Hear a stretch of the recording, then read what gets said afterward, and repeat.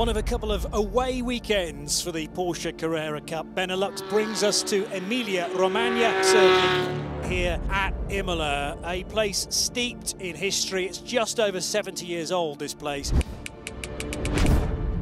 And the other thing we need to think about is the whopping high temperatures 33 degrees Celsius currently in the air, and a lot, lot hotter than that at track level. Round five of the Porsche Carrera Cup Benelux here at Imola gets underway and a good start for Kalle Rovanperä. Here's Paul Meyer on the attack at Tosa for the race lead and he just uh, gave Rovanperä a bit of a dummy coming out of the previous corners, maybe giving him the impression that he was going to go around the outside.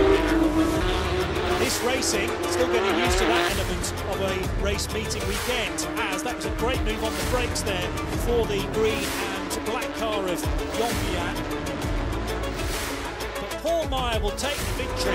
And this year the only aim was to win and to take that first position in the championship. When I crossed the finish, the team and I were so, so happy to finally do this and to finally reach the first position that we are really uh, so proud that we took this, uh, this position. And I think we also took the lead in the championship, which makes it even more sweet.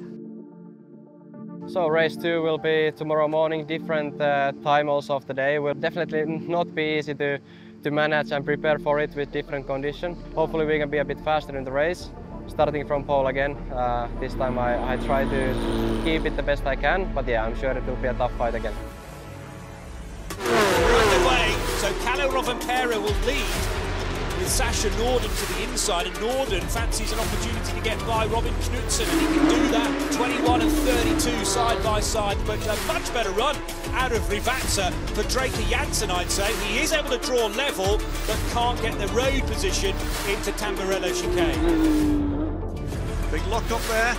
Yannicka Kahle in the green and white car defending and defending hard. Kalle Rovanperä is a winner in the Porsche Carrera Cup Benelux here at Imola.